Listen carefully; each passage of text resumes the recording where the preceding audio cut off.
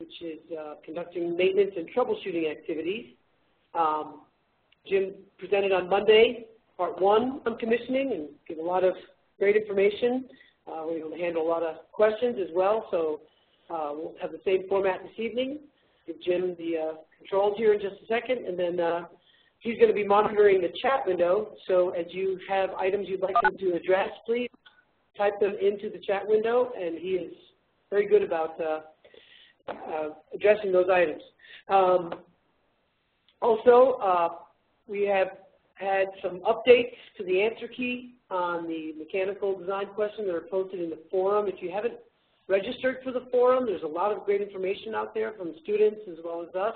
Uh, you need to just go in, register, and put your uh, social media, either Facebook, Twitter, um, or, or, something along those lines to register into the forum.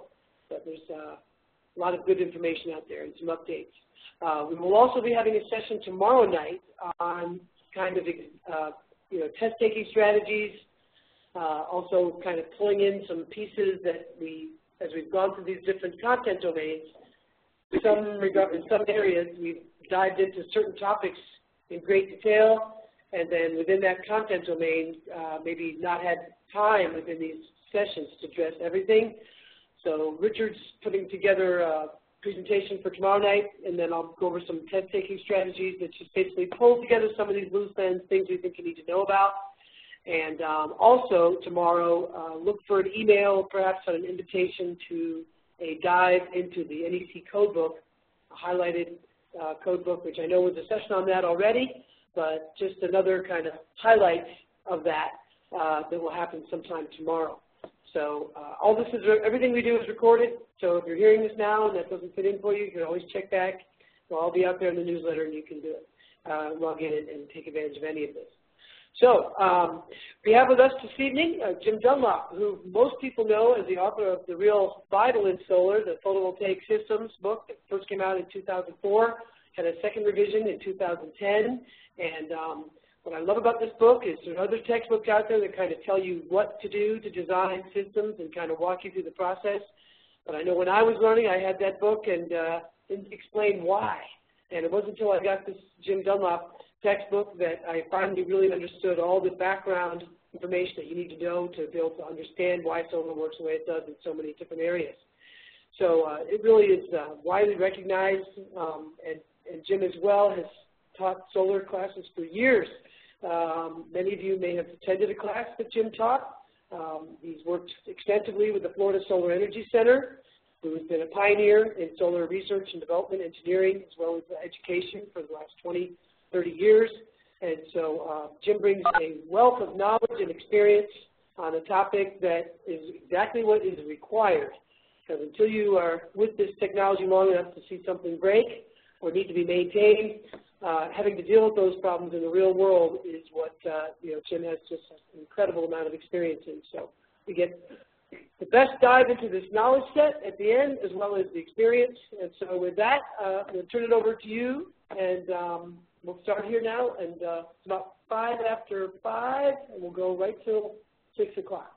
Okay, thanks. It's uh, mountain time, so wherever you are, just the hour, but it's five after the hour. Okay, bye-bye. Thank, thank you, Kathy. Appreciate that. Um, good evening, everyone. And uh, I'm going to try to pull up uh, PowerPoints here. Just, uh, Kathy, if you confirm verbally if it comes up okay when I get the uh, slideshow going. Perfect. Full, full screen now? Okay. Beautiful. So yeah. I'm going to continue with uh, some of the discussion from, from Monday night, uh, mainly talking about uh, you know system commissioning and testing, and you know we we talked about documentation and the critical elements of system documentation. They're so important to that to uh, you know make sure there's a good set of plans that people have to to review later on as they might troubleshoot or maintain or test that system. Uh, I'm going to uh, go pull up the IEC standard and, and, show you a few things in there. Uh, some of the tests that are done, some of the you know, the, the standards they, they developed there for that that they're using a lot in, in Europe now. Um, we want to talk a little bit more about IV measurements and, and test equipment, and mainly um, I think it'll be a good review of IV curves and some of the basic performance uh, uh, you know, parameters of, of, modules and how they're used. Um, for a lot of you, maybe you know, be sitting for the test this week that uh, uh, will help you. Uh, you know, there's definitely going to be some questions on those sorts of things. Uh, a little bit on performance and energy measurements. Uh, some other topics. Bring up one thing from the other night if uh, gentleman's still on that had some questions about uh, magnetic declination. I have a couple slides on that. So there's, um, we'll go ahead and get started here, and uh, probably uh, might skip over this slide here just to kind of our advanced organizer, organize our thinking about the, uh, the system we're dealing with and the power energy flows throughout the system. Now, on this uh, IEC standard again, uh, you know, it's a, it's a it's a document that's uh, for testing, commissioning the documentation requirements for grid-connected PV systems. It doesn't deal with standalone systems. Um, it, it's not a performance uh, verification standard in the sense that it's you know trying to verify performance ratings for systems or verify energy performance. We'll, we'll get to that in a minute. It's more or less verifying electrical safety and, and that, that the nominal voltage and current parameters are within standards. Um, so I'm going to pull up a little bit of that right now here. I'm going to cut over there and just kind of take you through a few of the, uh, see if we got, is that standard up there now, Kathy, or did I need to share that as well? Great. Let's see, is that, is that up now?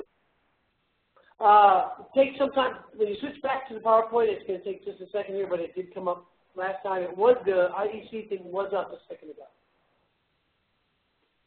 So, right now it's not. There we go. You're up. It's up now, okay. There we go. Yep. So basically this, this is the uh, table of contents for the standard that, uh, you know, covers all the documentation requirements here. That's uh, all the basic system data, system information, all that we covered uh, Monday, uh, all the, the, wiring details and so forth, uh, data sheets for the major components, standard kinds of stuff that, that everyone puts in their documentation packages here. It just kind of outlines the requirements very specifically. Uh, mechanical design information, the structural aspects, operating maintenance information, test results and commissioning are to be part of that as well. And then they get into the actual uh, visual inspections, uh, you know, different things that uh, need to be verified. Mostly it's code verifications, the things that we talked about on Monday, verifying NEC compliance. Uh, a lot of the, uh, the testing ultimately is going to verify some of the, in this case, the International Electrical Code, IEC electrical code requirements. Um, here's the different tests that they have, the polarity test, the string open circuit, short circuit, functional test, insulation resistance test, a couple different ways to do that that I'm going to cover real quickly. And then they've got model verification certificates that this standard has been complied with for a system installation. So that's kind of a, I don't know, quality seal or something if you're able to do these kinds of tests and, and produce the test reports. You can kind of put a gold ribbon on the on the uh, on that system to verify that it's it's tested and passed this standard, and that might mean something in terms of value to the customers and might be value-added things that the uh, installers can offer. So here's the, they got a model inspection report and a PV array test report in there as well. Um, and then some other stuff in the back. I mentioned infrared imaging and stuff. They talk about that, trying to identify hot spots within arrays. Some of these are pretty advanced things. You have to have thermal imaging cameras and so forth to try to, you know, find faults in diodes and cable connections and failures in bus bars internal to modules and things like that that are that may not show up for, for quite a while until it burns through the module or something. So uh, in, in the standard here, I wanted to take you over to the, uh, move these over a little bit.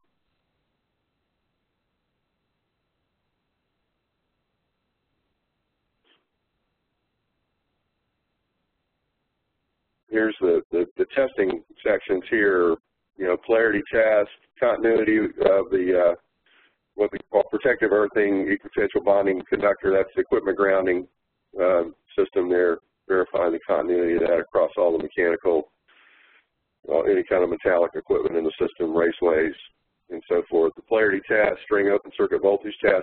One of the things you'll note here, they're looking for, um, you know, they kind of say systems with multiple identical strings should be under stable irradiance, and they're looking for, you know, within 5% of the, uh, of the, uh, you know, value on the, on the, on the open circuit voltage measurement. Same thing with the current.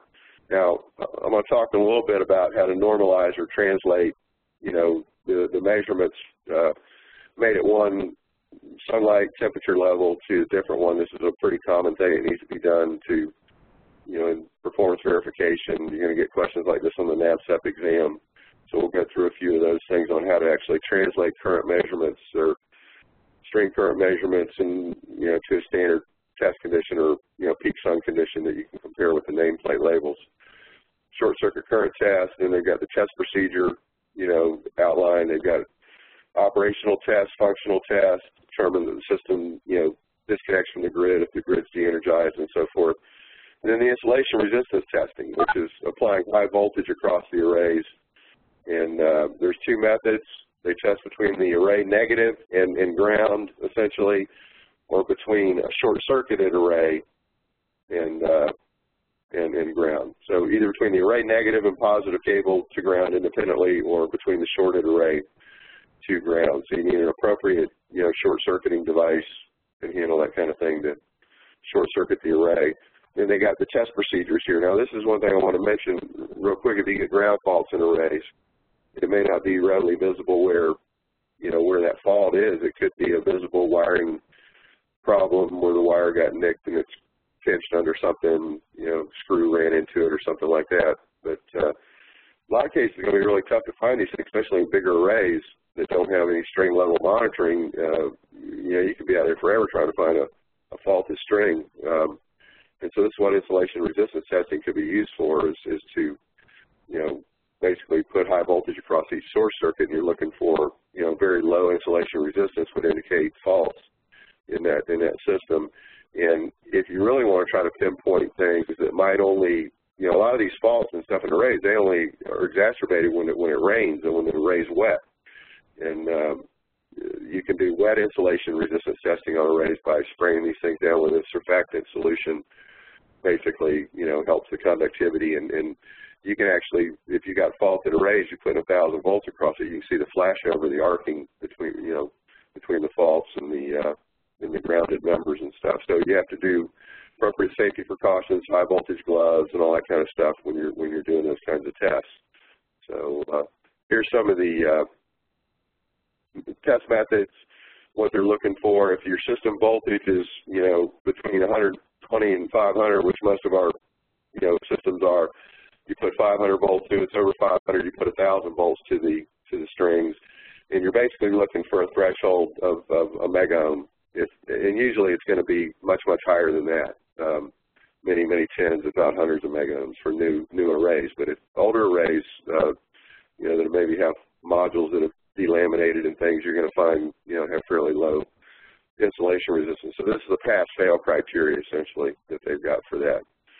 And then here's the verification reports, lastly, that talk about, um, you know, here's a verification certificate, you know, that the installer would issue. Um, and they've got the uh, inspection report, which, you know, the frequency obviously depends on how important that application is. Uh, you know, if it's a if you you know if you have monitoring, you find out the system's not working properly, and it's a big system, you, you're probably losing a lot of value in that in that project. But smaller applications may not require that as you know as frequent maintenance. The value of energy that's produced isn't that great in those cases. So, but um, go through and they've got the, the checklist here, similar to our code checklist, and then here's the PV array test report. And as I mentioned last night, you know, there's a couple of companies, Seaward Group in UK makes a piece of test equipment that'll do all these tests. Uh, one instrument will measure all these parameters and actually store that data in the instrument and produce it, output it to a standard test report format. So you'll see more and more of that stuff, uh, as well as the inverters being able to do this stuff. So let me uh, let me bump back over to PowerPoint here, and uh, want to talk about IV measurements on arrays. So if you if you have faults in arrays, obviously, you know, insulation resistance testing is is the way to go to find find those problems. Uh, wet insulation resistance will help pinpoint those locations if you're spraying it down while you're you know have high voltage on it, you'll see a, a marked decrease in the insulation resistance. Um, but in terms of the uh, other kinds of tests that you might be able to raise are obviously the current voltage curves, the measurements, and there's some inexpensive test equipment out there now that allows you to do this, to do diagnostics, and I think this will serve as a good review for folks that are getting ready to take the take the test. So let me get this PowerPoint back up here if that's not already. Um, let's see how that works. Is that PowerPoint back up, Kathy? Yep, you're good to go. PowerPoint's back up? Okay. Good. so, you know, a lot of things we can do with IV measurements. Obviously, we can we can determine true maximum power points. We can get the you know short circuit, open circuit, all those parameters. Uh, we can see the effects of degradation, uh, increases in resistance, uh, series or shunt resistance. We can see uh, effects of shading, soiling. A lot of things can can be done by you know measuring the IV curves. Um, excuse me.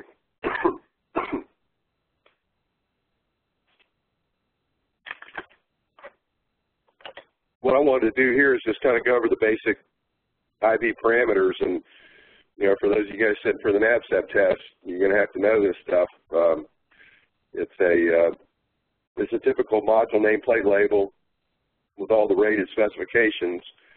Uh, we're going to look at them on the IV curve. This is actually required in Article 690.51 of the National Electrical Code that all modules have this label information because these are the these are the data that you're using in the calculations, the code calculations. Um, the uh, open circuit voltage will be used to determine maximum system voltage. The rated voltage will be used to determine operating voltage ranges in inverters. The short circuit current is going to be used to determine maximum currents and size conductors and overcurrent protection. Uh, all the equipment in the system, rated voltage, uh, operating maximum voltage will be used to determine voltage ratings for all the equipment as well. And then you, and then you got to recognize that this is at standard test conditions at 1,000 watts per square meter, 25 degrees Celsius temperature of the of the module, and we can translate these data to other conditions. We know that, that the current varies linearly with, with sunlight and the, the voltage varies with uh, temperature primarily. Um, other information on here that the label, you know, this is uh, for up to 600 volts, in the U.S. for, for European applications, they go to 1,000. It's fire rated Class C, meaning it, it can be installed on a building. Modules that don't have a fire class rating can't be installed on buildings.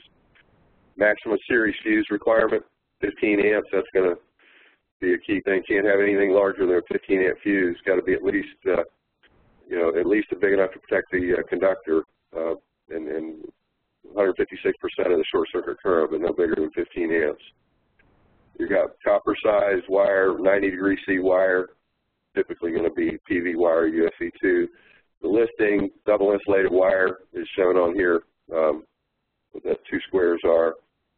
It's uh, listed the UL 1703 plus. It's additionally certified uh, for design qualification test, the IEC 61215. So that's uh, additional reliability testing that modules get through to prove their their 25-year warranty and, and long-term reliability. So um, these are all parameters, you know, that, that, we have to work with. They give you a problem that said, you know, how many of these modules could you put in series, uh, for example, and not exceed the maximum of 600 volts. You know, you'd have to look at the open circuit voltage and correct for lowest temperature and all the same kind of things you do for inverter string sizing. So very important to understand all this information and, and how to use it. Um, here's the basic IV curve you'll see from you know manufacturers uh, that actually identify these points. So you know, you're going to you know where these these points are occur on the IV curve. Short circuit current, that's the open circuit voltage down here. Maximum power point, maximum current. Wherever the largest rectangle area that we can draw between corresponding voltage and current points is going to be the maximum power point. It's going to be on the knee of the IV curve. So the area of that rectangle actually defines the maximum power because one side of that rectangle is the voltage, the other side is the current. So that's uh, one way to look at it. So uh, here's uh, another way to represent an IV curve by plotting power versus voltage. You can clearly see where the maximum power point is.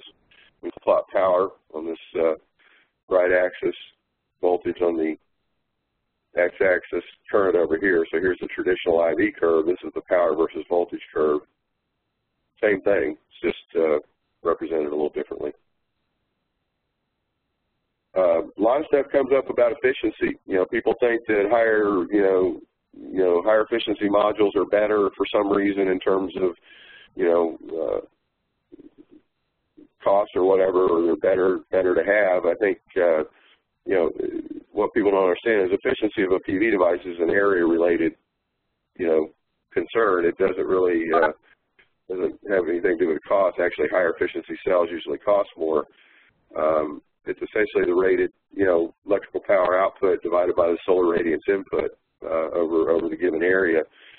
And so this is a pretty standard calculation, and this is all going to be related to surface area of arrays that we're going to talk about here in a minute. Um, in estimating, you know, how much array can you put in a given size area, you know, rules of thumb for that. So here's a here's an example. We got a PV module that's uh, 1.4 square meters and produces 200 watts when it's exposed to uh, peak sun, 1,000 watts per square meter. And the output's 200 watts. It's got 1,000 watts per square meter input times 1.4 square meters area. That comes out to 14.3%. So that's typical typical PV module. That's probably right off a manufacturer's data sheet. So that's uh, even though they may not report the efficiency with the numbers, that's that's essentially what it means. This means you're going to be able to get more higher power density, more watts per square foot.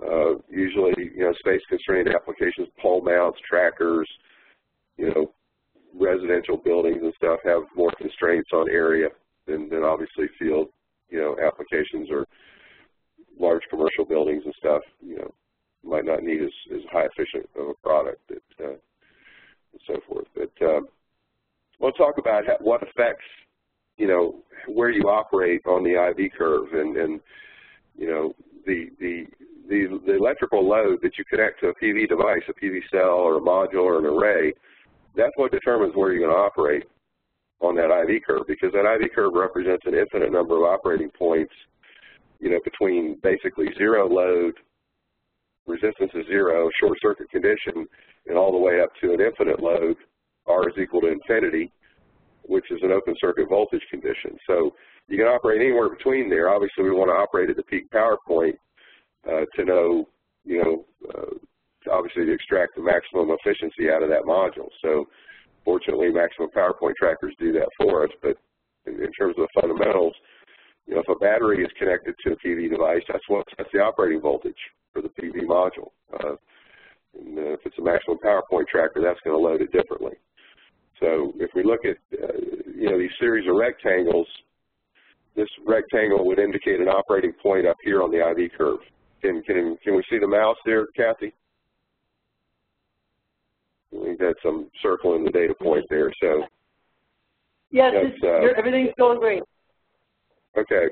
And uh, essentially that area of that rectangle defines how much power you're extracting from that IV curve by operating at that particular point right there that I'm circling.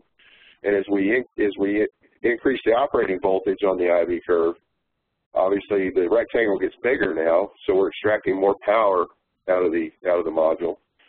There's another one, you know, and until we get to this point, that's where our biggest rectangle is. Now, if we go to the right of that point, we go back down here at, at voltages higher than this maximum power point up here, now the rectangle gets smaller area, and, and that means less power is being extracted from the module. So where we want to be is right here.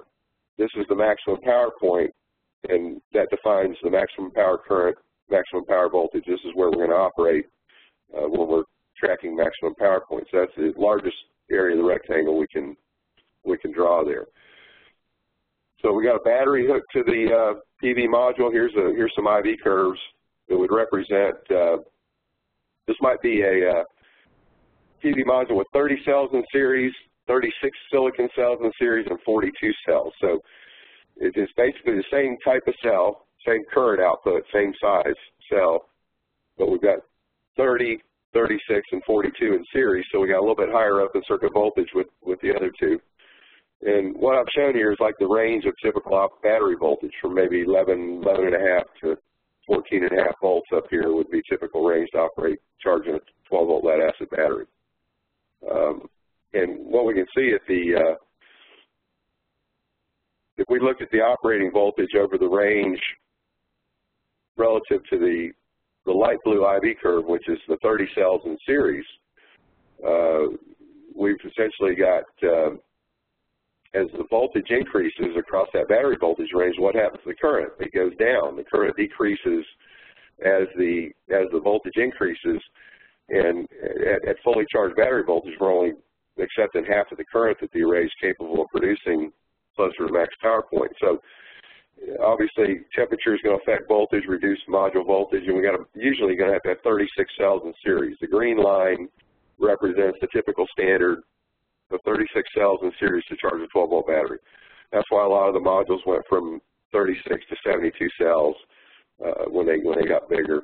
And now that cells are bigger, they're moving back to 60 cell modules. But uh, the operating points up here, what you can see is over that entire battery voltage range, we're operating to the left of the IV or the maximum power point, and, and the current doesn't taper off that much. We're getting full current in over that entire battery voltage range. So this is a kind of a key thing in matching, you know, batteries or PV arrays to batteries for proper charging voltage. Unless we're using a max power point track and charge controller where we configure the array at a lot higher voltages, um, you know, you have to make sure the open the max power voltage at highest operating temperature is going to be, you know, greater than that that fully charged battery voltage, or else you're going to lose a lot of current, cap uh, charging current capability as you start to drop off the knee of the IV curve. So, uh, just kind of wanted to demonstrate that. Now, in terms of electrical load, again, if we uh, zero resistance we're at the short circuit current point. We're shorting the module out, which is, doesn't harm the PV module, can damage the connectors if you short circuit a module and the connectors are not rated for load break, then you'll burn the connectors. So you have to have another short circuiting device to, to do that. It's rated for the current. Um, here's infinite resistance open circuit voltage, and as you increase the load resistance, you're going to basically operate at different points on the IV curve as that resistance increases up to infinity. And that's one of the methods you can use to measure IV curves on modules. You can essentially look at where the load. So if you if you tell me the maximum power point, let's look at an example here that uh, we've got, you know, say a maximum power point of a, of a uh, current and, and, voltage for PV module of 4.89 and 35.8 volts respectively you know, what's the maximum power, what's the load resistance? Well, the power is obviously just the product of those those two voltages and current. And then, you know, from Ohm's law, you just take the uh, voltage divided by current is equal to the load resistance. So if you took 35.8 volts divided by the 4.89 amps, that gives you the 7.3 ohms that uh, you would need to, to load that module up. That obviously has to be a load that can handle 175 watts. Uh, but a 7, 7 ohm, 7.3 ohm load is going to load that module at maximum power under those conditions. So that's uh, a little exercise and, and you know, an application for Ohm's law.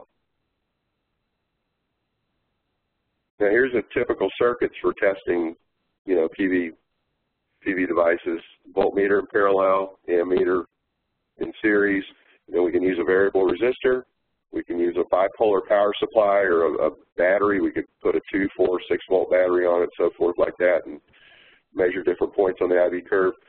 Or we could use electronic load with MOSFET transistors, or we could use an electrolytic capacitor to quickly charge up and measure IV data points with a high-speed data acquisition system. Now here's some equipment that's, that's out there. This is the new Solmetric PVA 600 PV analyzer. This is a portable IV tracer. It's something like 2,500 bucks. They've got wireless. Um, they've got a wireless sensor for solar radiation and temperature.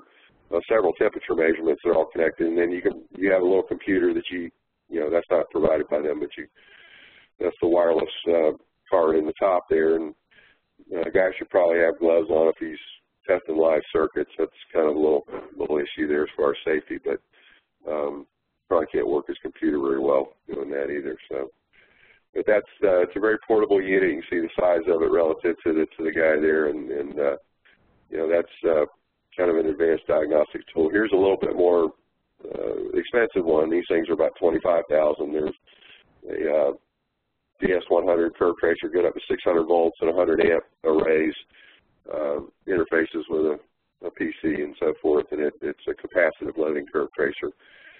I guess if you want to go all the way up, here's an indoor simulator where you lay PV modules down on there. It's a uh, Spire single long pulse flash simulator. It's got two xenon arc, arc flash lamps underneath the uh, the bed there, and is uh, intended to do indoor measurements of, uh, of PV modules and so forth. That's at, at Florida Solar Energy Center there.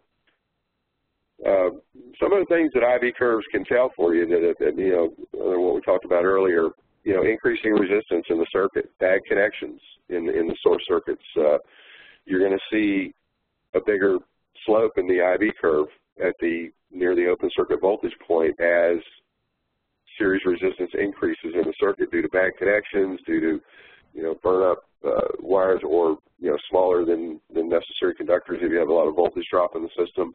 Essentially, this is how series resistance is going to change the shape of an IV curve. So anything that, that adds resistance between the modules or the string and, and where you're making the measurement. Um, shunt resistance is kind of indicative of problems internal to modules that uh, would indicate changing slopes up by the short circuit current point. As you get bigger slopes up there and, and reductions in, in open circuit voltage, that means you get lower shunt resistance. That means you've got internal problems in modules that tend to develop.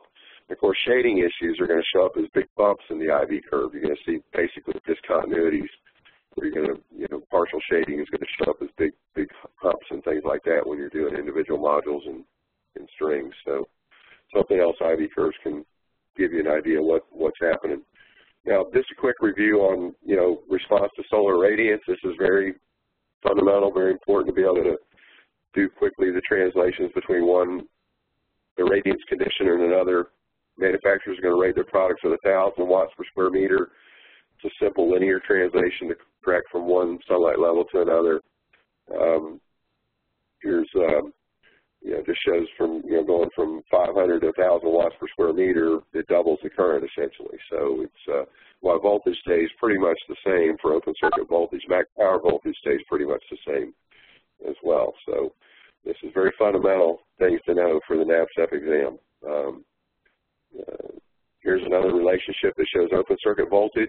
Um, how it comes up very quickly and stays pretty constant throughout the day, whereas current varies linearly with, with sunlight level. So as you get towards solar noon and peak sunlight level in arrays, maximum current, it varies linearly with, with the solar radiation intensity on the array. So here's some quick, you know, examples of how, you know, we have PV modules, 200 watt module, under peak sun, 1,000 watts per square meter assuming constant temperature, what's the power output going to be at, at 600? Well, it's just 60% of that.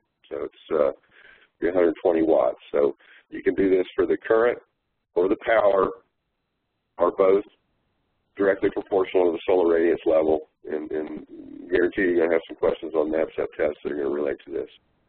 Um, now, temperature response is another thing that, that's really important relative to string sizing and building building PV arrays for the proper operating voltages. And as, as we increase operating temperatures on PV modules, we we have lower operating voltages.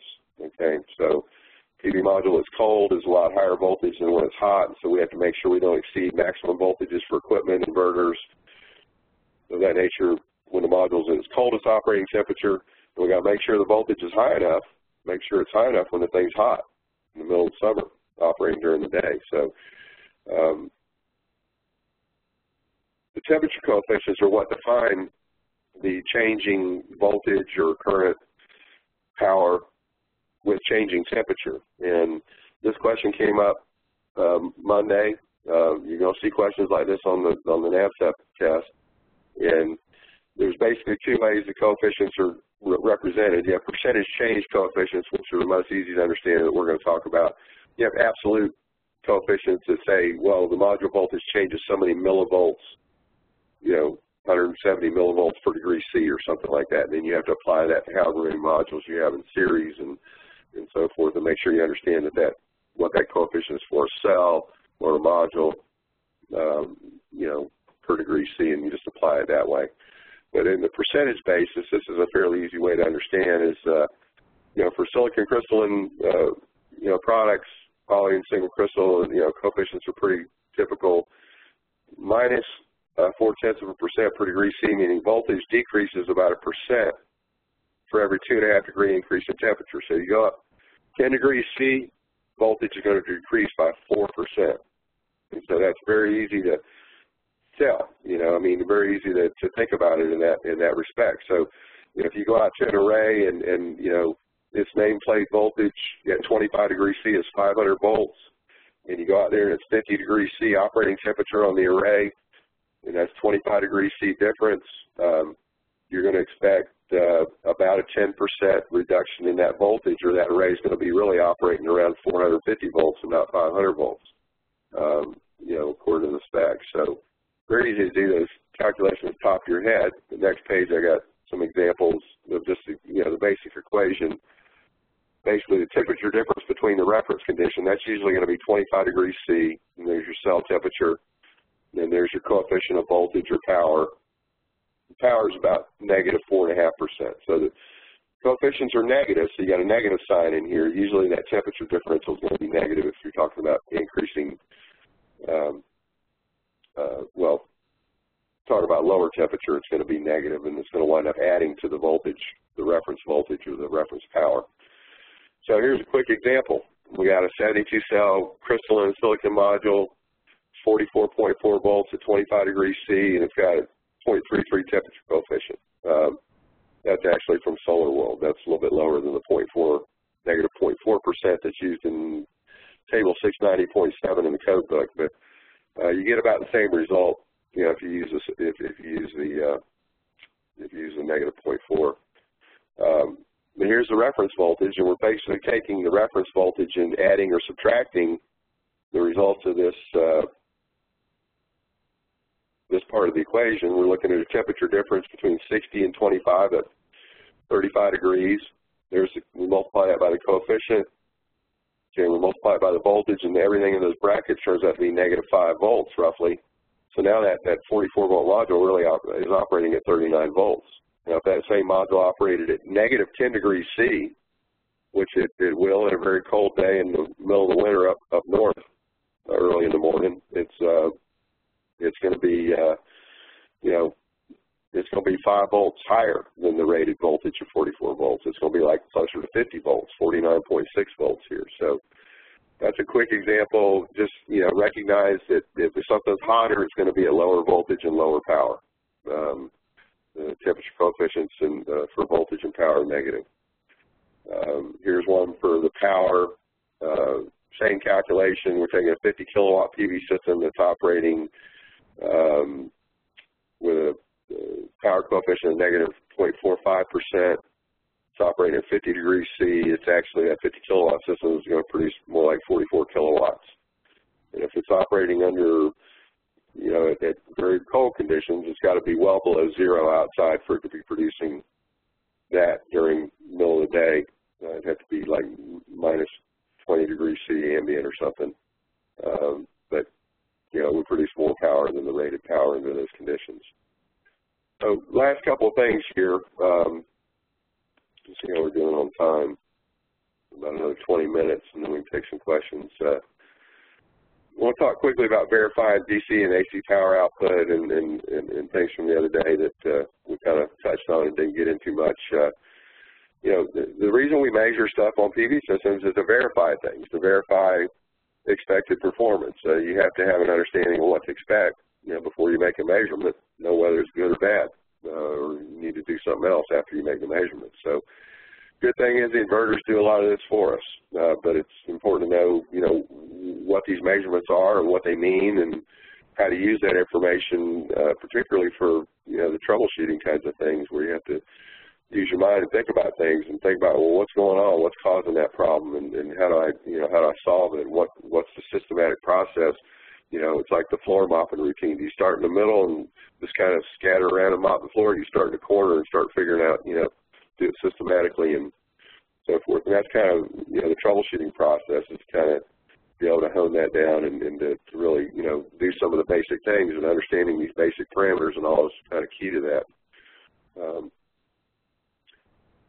you know, here's some quickly just some of the stuff SMA does with their monitoring just from a couple years ago. And it's just an incredible amount of stuff these inverters can do, you know, up to send you SMS messages, you know, text messages on your cell phone and stuff. So uh, when you, you know, based on whether your inverter's throwing an error code and, you know, kind of web interfaces and multiple inverter interfaces and all kind of consumer displays, a lot of sophisticated stuff with these inverters, and it's going to get more sophisticated. In fact, as I mentioned Monday, a lot of a lot of PV companies are hiring IT guys, uh, you know, computer computer guys just to handle their data acquisition needs and monitoring. So main things that we're monitoring for performance, uh, you know, obviously it's going to be the first key. See performance go down, that's going to indicate other problems that need to be investigated. Um, you know, simple interactive systems, you're going to measure power output and you're going to measure energy production over time. And you know, standalone systems a lot more complex. I mean, there's a lot of things going on, a lot of power flows in different directions, and you basically got to measure net amp hours in and out of the battery to determine, you know, if the battery's, you know, being deficit charged or adequately charged, and, and measure load currents and uh, you know, time time of use and things like that. So it's a little bit more sophisticated, more circuits. Now, one of the simple ways to measure power is something that a lot of people, you know, do with, uh, you know, if you want to get an average power for any branch circuit in a building, you just turn off everything but that branch circuit or, or that particular load, and you can use a standard utility kilowatt hour meter. Uh, use the watt hour constant, which is that K sub H number, that 7.2 number in this case on this meter. Most residential meters are about that. And uh, measure the revolution rate of the disk. And if you multiply the watt hour constant by the revolution rate, uh, that's going to give you the uh, the average power that's flowing through the meter over that interval. So the discs on the meters are all marked 0 to 100. And even if you have uh, electronic meters, the, the hash marks, the little LCD hash marks that progress across the screen when the meter's, you know, passing power, those are simulating a disk revolution, and you can do the same thing and determine the power flow. You see a stopwatch and measure how many revolutions of the disk per minute or however many per 10 seconds, and then run a little calculation here. The, the watt hours per revolution is what that K sub H is. And if you know how many revolutions per, per minute, uh, per, per uh, hour essentially, that's, that's going to give you the power flow through the meter. So uh, a lot of PV inverters have dedicated utility meters separate from the inverter monitoring uh, that can, you, know, you can verify the, the inverter power rating or the power uh, monitoring features with these external meters as well. There's an electronic meter. Um, now verifying the, the power output and trying to understand whether it's consistent with your expectation kind of follows the way we you know, go through energy performance estimates. But, um, you know, if, if, we're looking at DC power rating of, a, of an array at, at 10 kilowatts, for example, we've got a number of derating factors. One is, is the nameplate rating of the manufacturer accurate? You know, I'm giving them 5% there, so I'm throwing 5% away right out the bat. I'm saying inverter transformer efficiency, 95% is pretty typical. Module mismatch and DC wiring, AC wiring losses, I'm throwing in a few percent there. Um, soiling on the array, I'm going to say there's no soiling. I'm going to say there's no age degradation. Uh, obviously, this is for the power. You wouldn't do this with any shading factors or anything like that in here. So we're about 86% of that 10 kilowatts is what we expect just based on the you know, just based on these these de normal derating factors. Now we're going to do a temperature adjustment. We use a negative half percent per degree C, and it's operating at 60 degrees C. Then that that array is only going to put out seven kilowatts now instead of 10 kilowatts. That's just that's uh, that's on the AC side now. That would be on the output of the inverter. Okay, if the measured solar radiance was 850 on the array, sorry, then that, that 10 kilowatt DC rated PV array, nameplate rating on the array, it, you know, it may be only producing as high as 6 or 7 kilowatts AC due to these factors. So this is, you just plug in the, you know your own numbers to this sort of simple estimation. You should be able to verify, you know, within five percent or so that the you know AC power output of a system is doing what it's supposed to be doing based on the nameplate rating of the system. AC energy production, uh, we do that with PV watts. It, it's uh, there's additional derating factors that we're going to include, but similar ones from the power estimate. We're going to have shading factors here, obviously, in, in longer-term energy production. Um, one thing I wanted to get back to, and it's kind of out of place here, but you know, array area calculations. It should have been back with efficiency talk earlier, but um, you know, determine the power density of a module, how many watts per square foot. Uh, it's just it's just basically taking the module rated power output divided by the the, the surface area of that module. And uh, here's you know lower efficiency stuff, maybe 60%, 15% or higher. Uh, you know that kind of translates almost into into watts per square foot. Um, here, take an example: 175 watt module is 14 square feet. That's 12 watts per square foot. About 10 watts per square foot is typically you know, benchmark for what people determine, uh, you know, a power density of a completed array is going to be once you have spacing for rails and all that kind of stuff in between walkways and, and whatnot. Uh, so if you take a 4 kilowatt PV array, total module area is like 400, uh, uh, 328 square feet.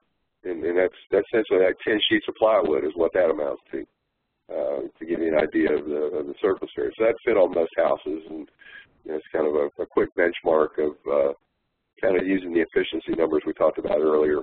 Um, and here's a quick example of, um, you know, here's a rooftop installation. That's actually a real, real installation out in LA.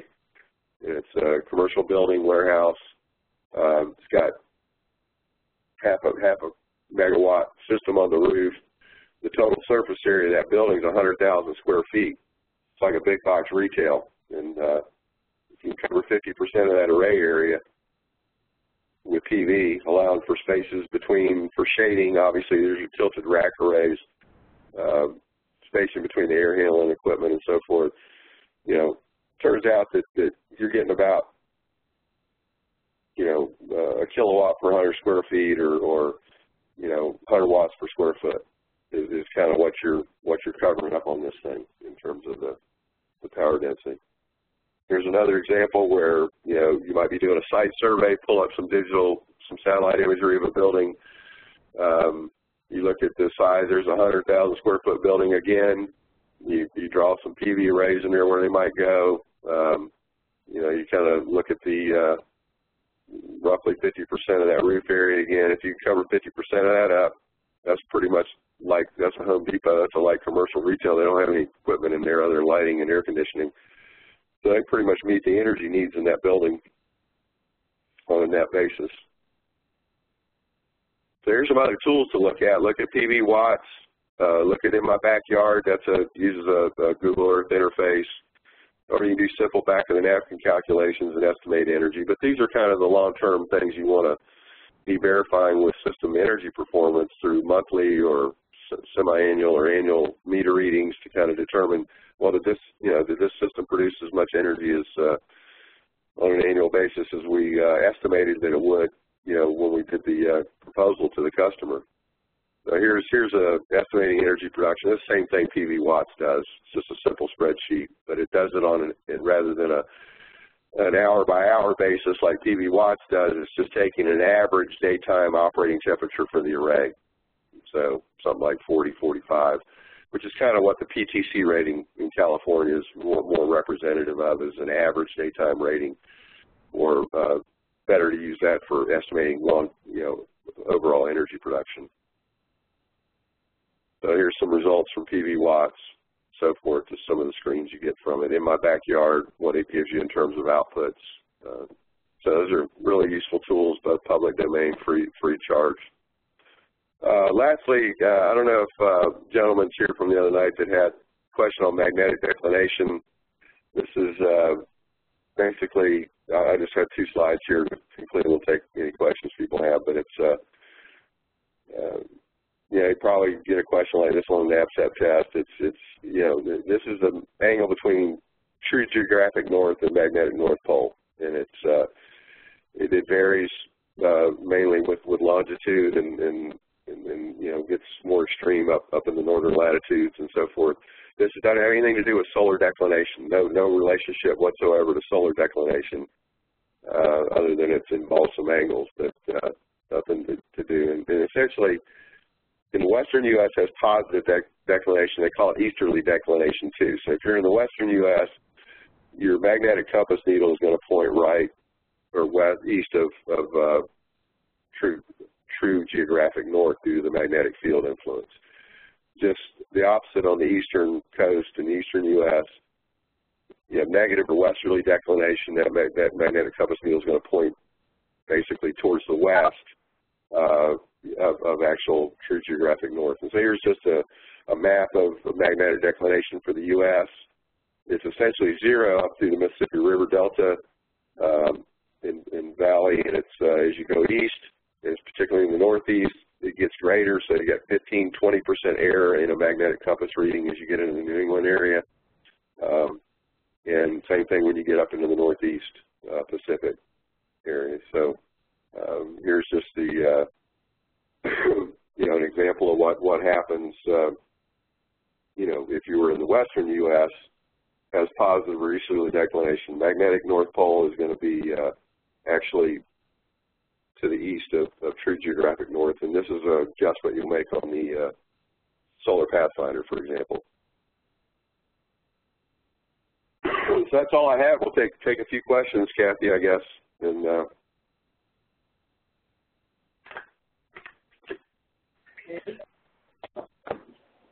if we have any. Okay. I don't see People can email, my email's up there. So they can email me if they have any questions. I got a few emails after the last one. So. Okay. All right. Um, I don't know if this catches you off guard. It really wasn't your topic tonight, but uh, I know one of the types of troubleshooting we had that Bakersfield fire, and we you know ground faults and arc faults are something maybe you could shed just a couple of your insights on that.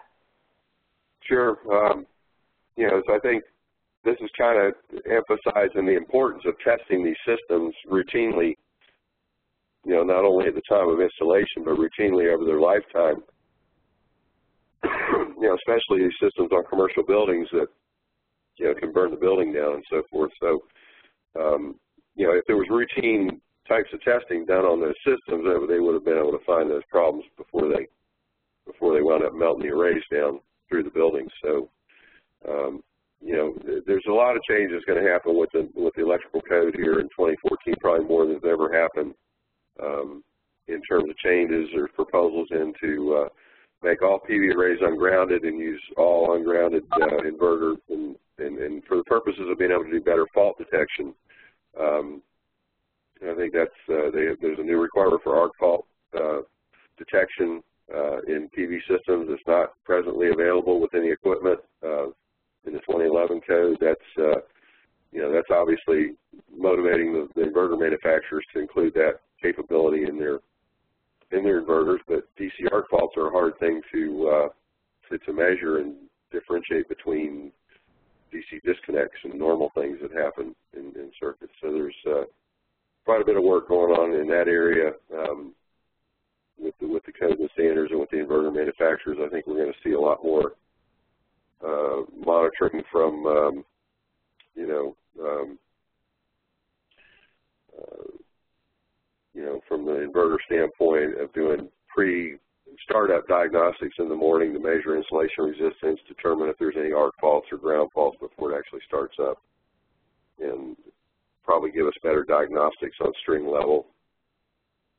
I mean, the technology is there to do it, and, and, a lot of the larger inverters do have that capability now. So, you know, it's obviously you have a big fielded array. You can't afford to send somebody out there to start pecking through it, finding the problem. They've got to they've got to know where to go look, you know, before they get out there. Um, got a question here from Sam. Um, is uh, where can we get that that IEC 62446 standard? Um, you can purchase standards through IEC.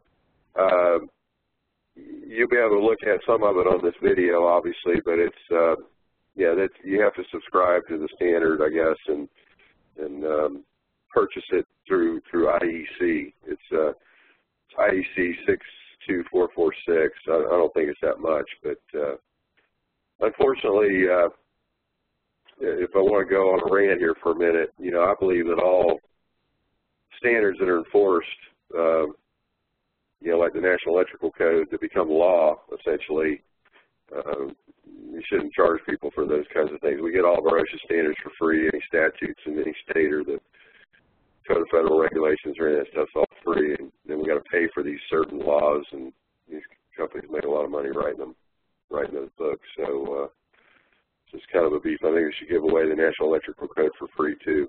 So unfortunately, we got to pay for them right now. Um, Sarah has a question here. Uh, PV wire the same thing as THWN2? No, no, it's not. It's uh, THWN2 is a standard uh, building wire uh, that is not sunlight resistant. Uh, it's it's wet rated, uh, heat resistant nylon jacketed insulation. That's what the THWN stands for.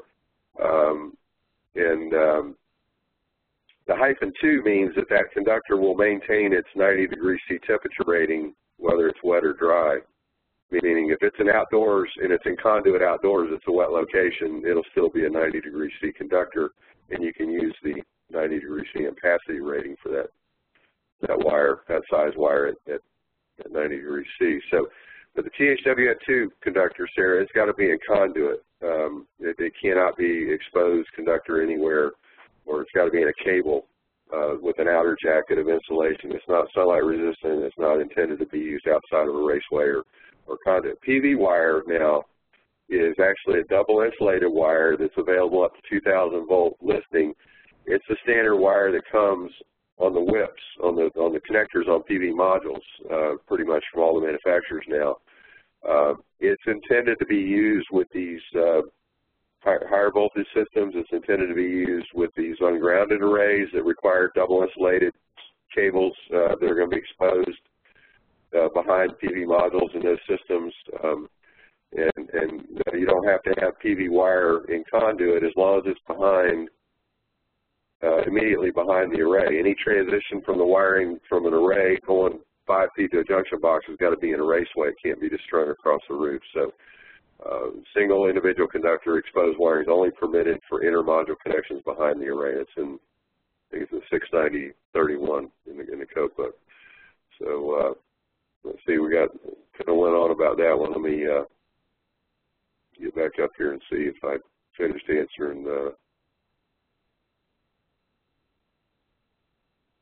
yeah, the PV wire would only be required, you know, behind the array. If you, and, and most of the time, it's just you're not going to have to have any extra wire. You're going to transition right to some junction box right at the edge of the array, or the combiner box um, to transition to your conventional wiring methods, the THWN2, for example.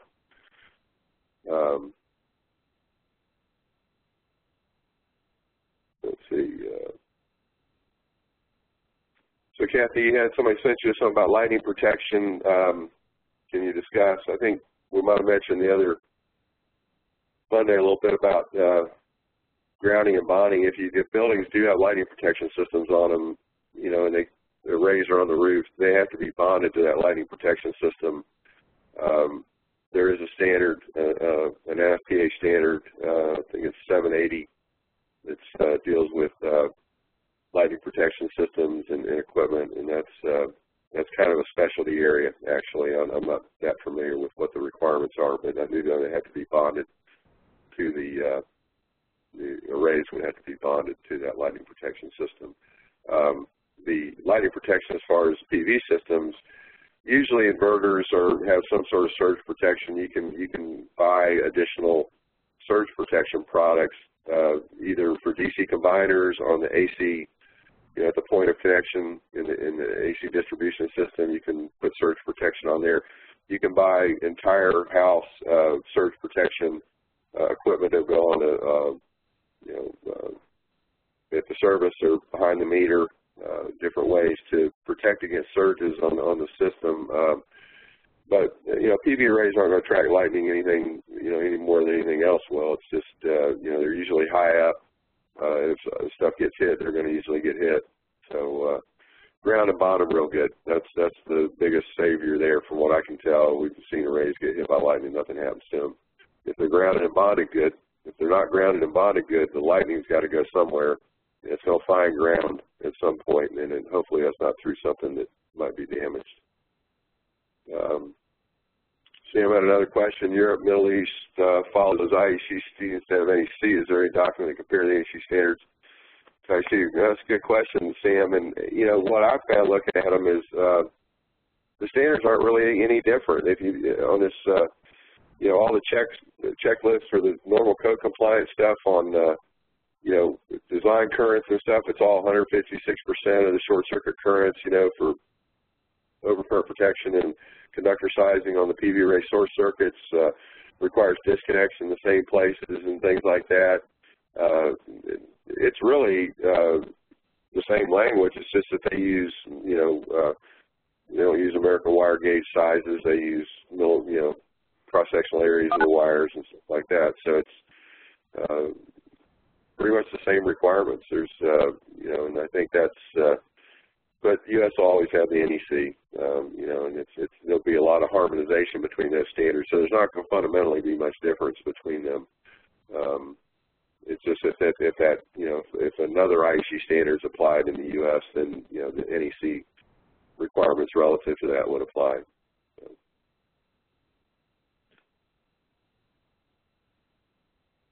So, we have any more uh, questions there, Kathy, or anything? Uh, appreciate everyone's time and, um, and, interest.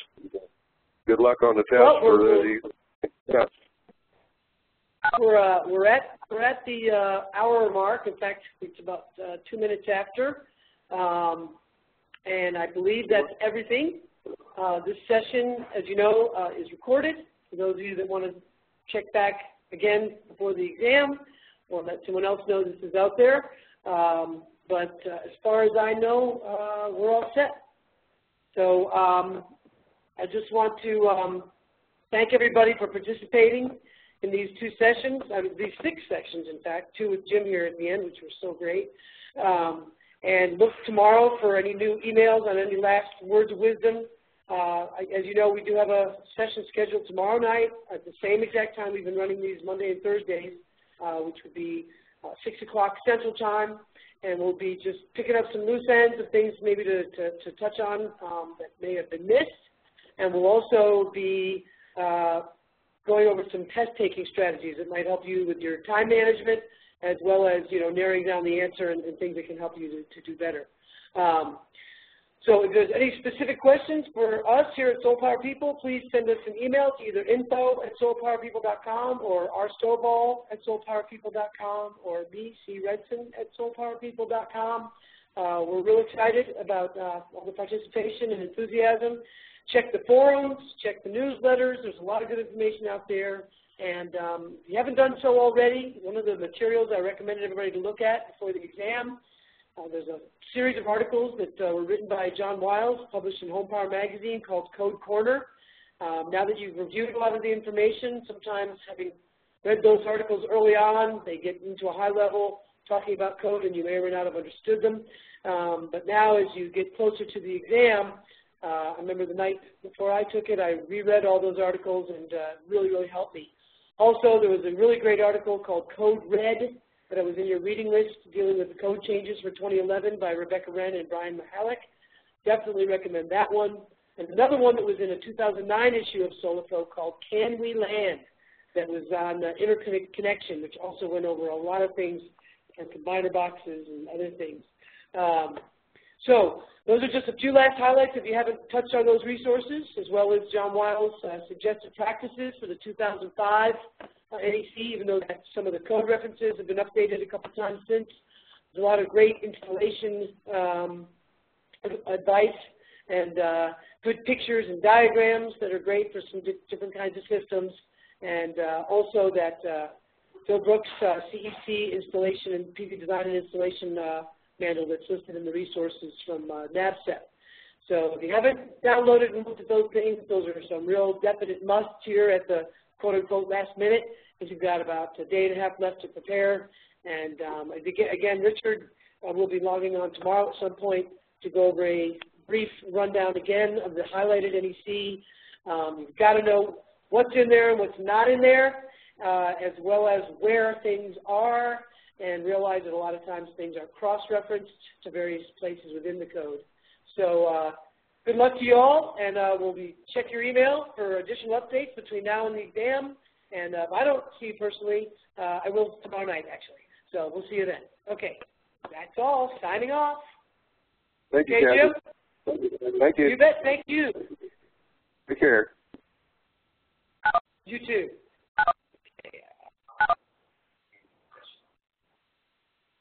I'm not getting it in session. You didn't give me hosting.